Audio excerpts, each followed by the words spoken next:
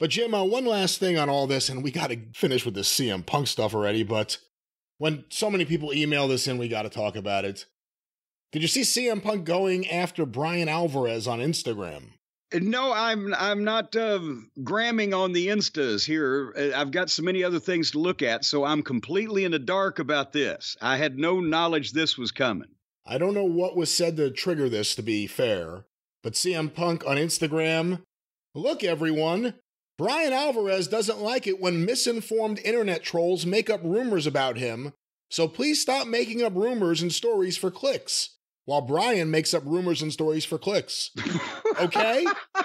He's married, for God's sake. By God, that man has a family. And then in parentheses, Bryan Alvarez, shut the fuck up and stop talking about me challenge day one. And then he posted. Wait a minute, wait a hold on. Stop talking. Was there punctuation in there you glossed over? Uh, no, it is the stop it's the Bryan Alvarez shut the fuck up and stop talking about me challenge, day one. Okay, I thought you were saying he was saying Bryan Alvarez shut the fuck you know up and I thought that's what he was saying at first too. All right. Well, anyway, it's a challenge and will he make it to day two? But now what instigated well, this from Bryan Alvarez's chicken lips? I don't know, but then there's a couple other uh messages here that Punk tweeted out. This one's all sorts of fascinating. I'm loving this. This one apparently year I don't know who this is to, but Bryan Alvarez emailed someone to get a message to Punk and Punk just put the email up, but it doesn't say who it went to. I feel stupid for even bothering to write this, but David Bixenspan is in one of his moods, and I've been reading the stupidest shit the last three days if you ever talk to Punk about this, and I doubt you will, and I doubt even more that he'd give a fuck, please let him know that I do not, nor have I ever had any problem with him.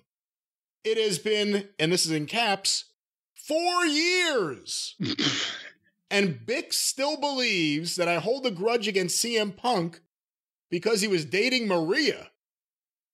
The best part is that Wait a minute, hold up, back up, back up. Before we go any further, Maria Kanellis. Yeah. Well, why would why would Bryan Alvarez have a fucking problem to begin with with Punk dating Maria Kanellis? That's his sister. What? No, I'm fucking with you. I have. I, I was about to tell no. no. Maria Kanellis is a foot and a half taller than Bryan Alvarez. She'd take him like a pill. They can't possibly be physically related. I think. I mean, I, I actually I don't know. I mean, maybe he made some compliment. I don't know. I don't know. Again, was, eh, was, it, was again, he was he was he one of those male fellas making goo goo eyes from afar at Maria? And got mad because Punk was dating her at one point in time?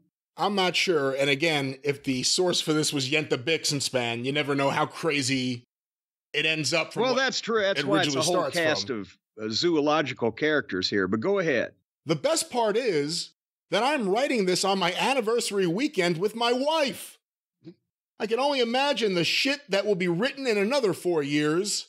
So, yeah, hope things are going well for you and let me know if you need anything. What? so again, we don't know who this was to, but it was to get a message to Punk that that he was happily on his honeymoon. That he's on his honeymoon. He, he doesn't care that Punk dated Maria years earlier because he had some undefined relationship, either physically or mentally with Maria. No, no, hold on. I promise you. I've I've known Maria for quite a while, and I look at the two of them, and I think, no, there there may have been a mental relationship on fucking Alvarez's part, but I I don't think they've unless in some way or another she's ever beaten him up at a wrestling match. There's not been any physicality. Well, I'll see what else we can find out about this. But Punk then put up another message. Friendly reminder I haven't been on TV in nine months and y'all still just can't stop talking about me. Maybe stop. You'll feel better. Love, hate, it's all the same. I don't enjoy being the sole person that props up the entire misinformed clickbait industry based on toxic gossip from lying sources. but what can you do? When you're the king, it comes with the crown. Oh my God, what a cunning linguist, what a wordsmith. A man speaking in tongues there. Well, hold on. I'm trying to find because someone told me there's more to this story. Oh, good lord! I don't even know what the story is. I don't know what the hell.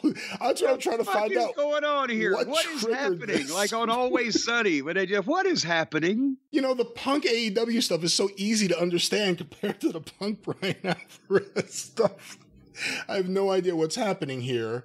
Uh, I'm trying to find this. Apparently, Punk also put up an audio message. Apparently, this was the last thing Punk posted. There were also some images of Larry the dog, which would have satisfied you. Here's CM Punk on his Instagram.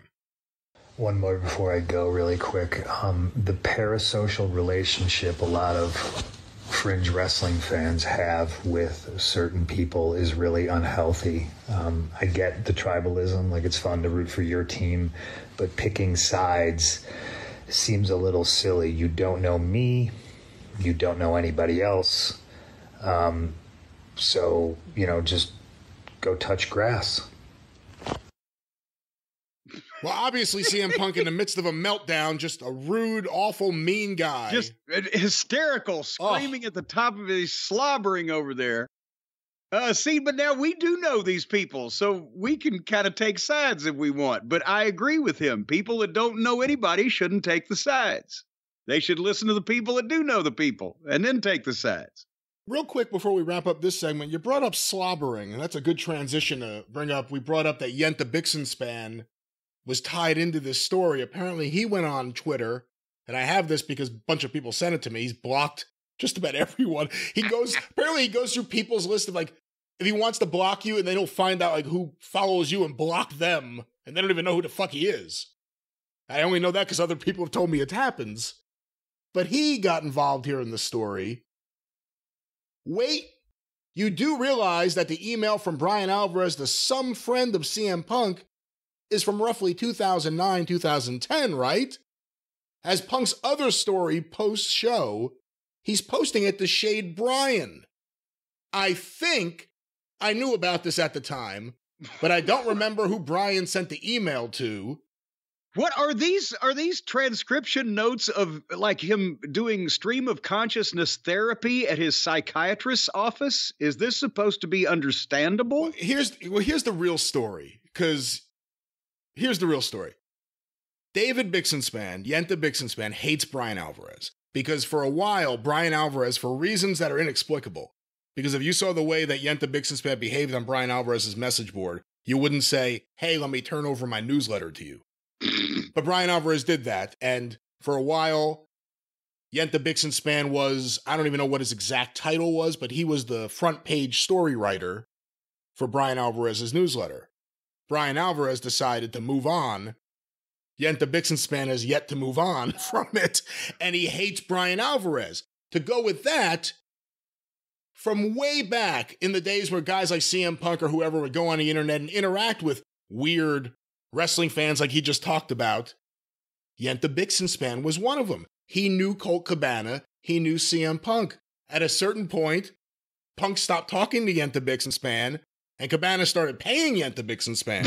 I know that. Yeah, that's, and then all of a sudden he hated Punk. there's a mirror image of personalities. One guy says, This is somebody I don't need to be fucking speaking to anymore. And the other guy says, Let me hire him to work for me. That's the real dynamic here at play. But here's the next tweet. He's responding to Bryan Alvarez, who, after all of this, just wrote, LOL, what? David Bixenspan, Yenta Bixenspan responded to that. The guy who you baselessly framed as a sexual predator in your What? newsletter a few months after you found out he was dating a woman you had a, and then in parentheses with a question mark, worked crush on is still mad at you about it 17 years later. You know, that thing you vociferously defended writing at the time. And then there's a article here, I guess from Bryan Alvarez's newsletter. In the highlighted portion, there is a belief that he's dangerous around the girls. What? And the term used was girls, meaning that just because he might have hooked up with a particular girl means nothing, or vice versa. Let me continue for a second, though, out of the highlighted. I don't know if that's the case or not, but that's the belief. And apparently, this is a whole section about heat wait of punk. A, so wait a minute.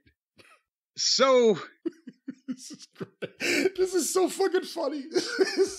Yenta, Yenta has been keeping a file on this fucking guy for almost 20 years because 20 years ago, Bryan Alvarez had a crush on Maria Kanellis and he was upset at CM Punk because CM Punk had the temerity to date more than one woman in his entire life.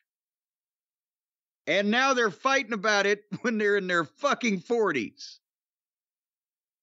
Is this what I'm being led to believe I here? guess, I mean, again, it's all so bizarre.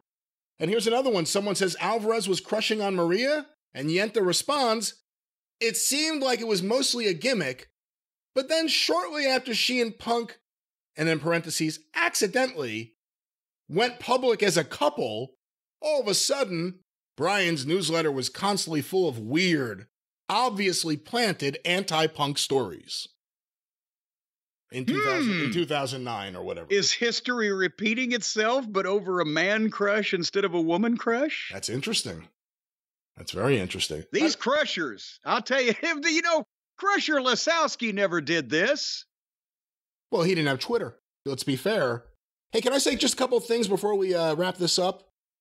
One, we brought up slobbering at the top. I just want to say once again publicly here, because he denies it. I'm going to talk about that in a second. Yenta Bixenspan had drool go off his face, off his mouth, Sprang forth. and drop onto my then girlfriend's hand as it was on the window of my car. I remember you telling me about this years ago. Oh no, this happened. And again, if he wants to publicly say that it didn't happen, I will get her on the show.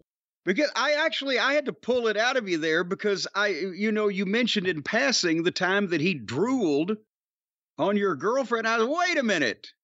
Don't bury the lead here. Back up and and you you 'Cause you reconstructed how the the drooling happened when he was leaning over into trying to get into your car and she was trying to recoil from his presence and her hand was up in a defensive posture and he drooled on her.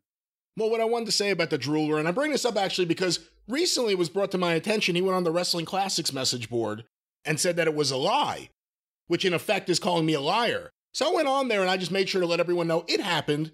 He knows he's a drooler. He knows why he drools. He knows he's a mess. He knows he had a Super Mario Brothers dirty t shirt that he wore for years. He knows that he's a fucking human garbage pail kid. He knows all these things.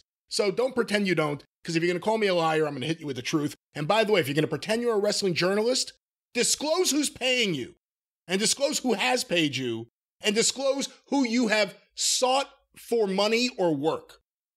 Because you're as compromised as anyone, you little fucking troll. And another thing, and this is how I'm going to wrap it up. You want to talk about files people got on someone, Jim? I've got a file on this fucking guy. Because you know what he does? He calls Stephen P. New, my lawyer, crying, screaming and crying, texts him crazy fucking things, including lies that are obvious, every time I defend myself against this little shit. But let me just say this the next time you open your fucking mouth, you little garbage pail kid, I'm gonna go and I'm gonna fuck your shit up in a way that you're not prepared for. Go look through some of the crazy shit you have texted my lawyer, you idiot. You're an idiot. It's my privilege, not yours. You're an idiot. This little fucking guy who has threatened to end me and you, that was the exact word. I will end them. This little guy who starts shit online and then writes to my lawyer and says, Someone who's friends with them was starting shit with me. We had nothing to do with that. He did that about Brian Solomon. Brian Solomon, Bixenspan picked a fight with him on Twitter. Brian Solomon said, Go fuck yourself. A respected author. Yeah. A, a grown adult with a, a profession. Yeah, and then he goes and writes to Stephen that someone in the circle of Brian and Jim is starting shit with me. They better not say anything about it. Hey, just so everybody knows, my circle was squared a while back. It's a very small one. Yeah, so you know, that's the thing. The next time you open your fucking mouth, I've had I have fucking messages because he fucking messages people, then send me the messages of him urging people not to do business with me, urging people not who I'm friends with not to be friends with me. So the next time, I'm not one of the various people looking to sue you. I'm just gonna hand over my file right to the fucking police and let them handle you. You little fucking troll. The fuck? Diving in the middle of shit, calling me a liar. You drool faced liar. Fuck. Folks, I've said it many times. You can say all those things, but don't throw the drool. Drool. He drooled not on her drool. hand. I will put her on the show if he wants to call me a liar. Little troublemaking idiot. This guy has messaged people that I've never had a single problem with about how they should disassociate with me because I've hurt his feelings by telling the truth about him. And then he pretends he's a fucking wrestling journalist. He's never held a job. He's never had a date or a companion or someone want to hold his fucking hand. Cause, cause of the drool. It's all the drool. And this little fucking idiot goes out there and tries to fucking. Now wait, when you say little, no, no, no, no, no, I'm no, he's a big. He's a big. He literally. Do not say little. He's a fucking wildebeest. That's true. He's literally taken on the fucking shape of the chair that he sits in, nonstop on fucking Twitter because that's the only social life he has. Is that why his pants look like my Aunt Lola's couch cover? Someone, yeah, that's the thing. It's like he goes out there and causes all this shit. Every time he goes out in public, someone takes a picture of him to send it to everyone else and say, look at this. And it's always about the wardrobe, too. Where did he get that smock that he's wearing? A smock. But that's it. You don't have to call Stephen crying because I'm telling the truth about you here. You don't have to go message people who either work for me Are you talking about Stephen P. New of newlawoffice.com, 888-692-8084, who as well as doing much legal work for you and I also has helped so many members of the cult of Cornette with their various problems with wrongful termination or damage from negligence of other people and various things, newlawoffice.com, 888-692-8084. Are you talking about that guy? I'm talking about that guy, that little fucking idiot sending death threats to me and you to our lawyer. That guy. Well, at least he's going through proper channels. If you're gonna, you can't just send a death threat to somebody's front porch. That's illegal. If you're gonna threaten to kill somebody, you've got to contact their attorney. Don't, like I said before, don't call up Stephen crying. Don't text Stephen, your clients are doing something. Go get a fucking lawyer and let the lawyer deal with the lawyer instead of my lawyer being your fucking counselor because you can't fucking cope with anything that you create. You little fucking idiot. He called Stephen, he woke Stephen up one morning screaming, Your clients are ruining me! And Stephen didn't even know who it was. He said, Who is this? he had no idea. Your clients are ruining me. You know why? You want me to tell you why that happened? You want to hear a funny story? Let's end with this. I'm just muting myself. the your clients are ruining me thing happened when someone posted on Twitter that he had taken a government loan during the pandemic that was forgivable so you wouldn't have to pay it back under the guise that he lost work in any way during the pandemic. Which again, did he lose work during the pandemic or did he stay the same during the pandemic or did he gain work during the pandemic? He took out a loan that looked very suspicious to me. It got tweeted out. I retweeted it. Then the story started going around who sent out the tweet? The first story I heard when I retweeted was Austin Aries. Because apparently Austin Aries was looking to sue Yenta Bixenspan. then the next story I heard was Joey Ryan. Because Joey Ryan was looking to sue Yenta Bixenspan. Now I'm thinking, man, there are They, plenty. they swim in the same cesspool circles. But it's just weird. I mean, so many people have called out Joey Ryan with just the gimmick, and then after everything happened with his scandals, what did Yenta do? Did I be the one to single out. Then I heard it was David Lagana who wanted to sue Yenta Bixenspan. now that one I believed, and that's when I took it down because he had tried to message me at one point, hey, I'm trying to put together a lawsuit against Bixenspan. Can we talk? and I actually had Stephen call him up and say, don't ever contact Brian Last again. Yenta Bixenspan may be a piece of shit, but he hasn't yet been accused of raping women in the night. And that was the last I heard of that. Or bad program editing. So my point is there are multiple people looking to sue this idiot at various points. I don't know what they would get. He's judgment proof. He doesn't have a dollar to his name. And he's oh, out you there. Can make, you can make plenty of judgments about him, but you're not going to get any money. Little idiot threatening us. That's what I have to say about that. Stephen P. New. face hurts now. Ah, folks, again, I'm you know, I apologize for my inflammable colleague, the great Brian Last, who says these controversial things while I try to maintain an even keel and stay. Can you imagine? I'm here. I got a family. I got a house. I've got business. I've got businesses. I've got interest. I've got an adult big boy life. And I You got this, a dry mouth. I've got this troll. Do I sound like I have a dry mouth? Well, no, you compared to Bix. I got all this going on, and I have this troll with nothing and no life experiences, alone and miserable in his own filth, living in squalor, who constantly is starting problems and blaming everyone else. So I want it to be known publicly. If you get a message from him about me, send it to me, because it'll go in our file. Because enough of this. He's not a journalist, he's barely a human being. Fuck threaten me. I have I have bills and shit. This little motherfucker has nothing. It's easy to sit there and start trouble when you have nothing, your parents have nothing, you have no hope of ever having anything, and the only joy you get in life is sitting there and trying to fucking attack people. But I got the messages he sent people. Fucking coming and trying to cost me business and trying to cost me friendships because he can't take me telling the truth about him. Little but now I have to disagree with you. You says he has nothing. He has the squalor and the filth. I don't even know if he has that Mario T-shirt anymore.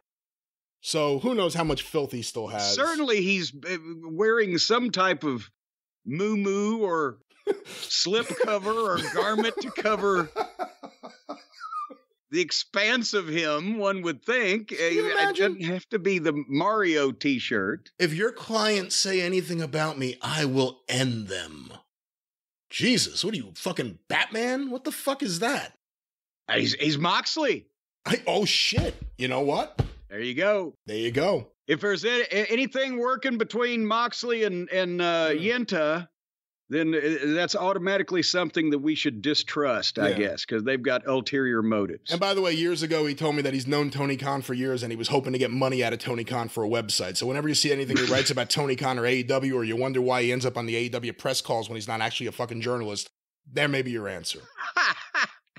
Let's move on now. And by, again, if you have any problem with what I said, Go get a fucking lawyer and have your lawyer call my lawyer. Don't call my lawyer crying. You've never been in a courtroom. You don't know how anything fucking works on an adult level. Let's move on with the show, Jim.